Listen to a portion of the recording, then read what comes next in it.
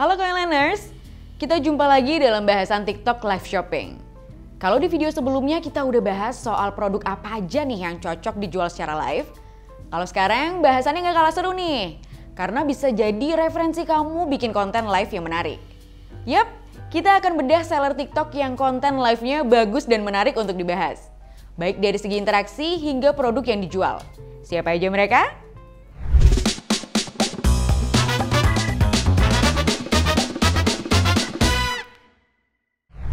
Sebelum kita bedah, seller yang konten live shoppingnya menarik, ternyata mereka juga memperhatikan etalase dan durasi live.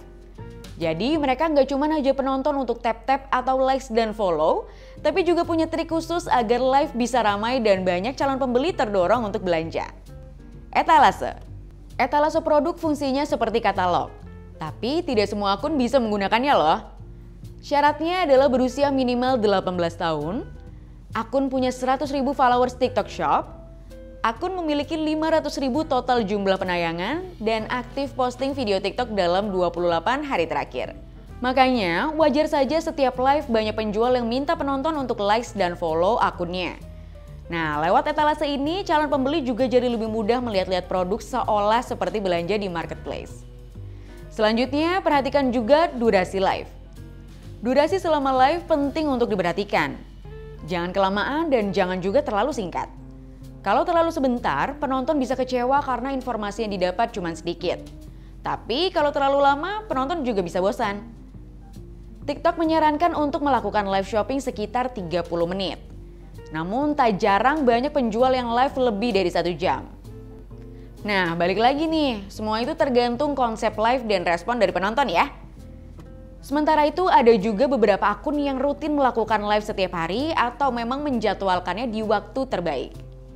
Misalnya tiga kali dalam seminggu dengan durasi 2 jam di setiap waktu makan siang.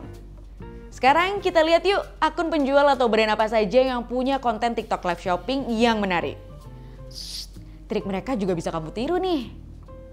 Yang pertama dari brand James Honey. Brand yang menyediakan berbagai jenis produk tas, dompet, dan aksesoris fashion ini pernah mengadakan program giveaway untuk 20 produk fashion senilai Rp100.000 secara rutin. Pengemasan live shopping yang dibuat fun dan berlimpah hadiah bikin audiens jadi nggak mau skip live-nya. Bahkan nggak cuma itu aja, James Honey juga meminta para penonton untuk memberikan likes karena saat jumlah likes mencapai 500 ribu, James Honey akan memulai crazy flash sale dengan menjual produk mereka seharga seribu rupiah aja. Wow, siapa sih yang gak tertarik? Nah, Ajakan agar penonton terus berinteraksi dengan trik memberikan diskon besar-besaran ini ternyata ampuh menggiring penonton untuk langsung check out. Bisa banget nih untuk ditiru. Yang kedua adalah akun Ica Big Sale. Akun ini termasuk penjual palu gada yang menyediakan segala macam produk. Mulai dari fashion, produk rumah tangga, hingga alat elektronik. Konsep live yang dilakukan biasanya tandem bersama admin dan saling bergantian mempromosikan produk. Untuk jadwal live-nya, mereka selalu menginformasikan di profil akun TikToknya. Biasanya sebelum live, akun ini mengupload konten video singkat tentang produk yang akan dijual, promo maupun harga diskonnya. Trik ini dilakukan agar calon pembeli tertarik dan enggak mau ketinggalan promonya. Selama live, host akan meminta penonton untuk likes dan follow. Dan saat jumlah penonton sudah mencapai target tertentu, Ica Big Sale langsung menggelar promo besar-besaran. Dari konsepnya yang menarik dan interaktif ini, enggak heran kalau konten live shopping Ica Big Sale mampu mendatangkan banyak pengunjung.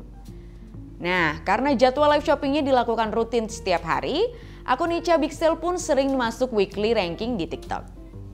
Yang ketiga, akun Rumah Cemilan 82. Selama live berlangsung, hostnya asik mengemas aneka cemilan sambil berinteraksi dengan audiens. Jadi konten live-nya seperti ini nih.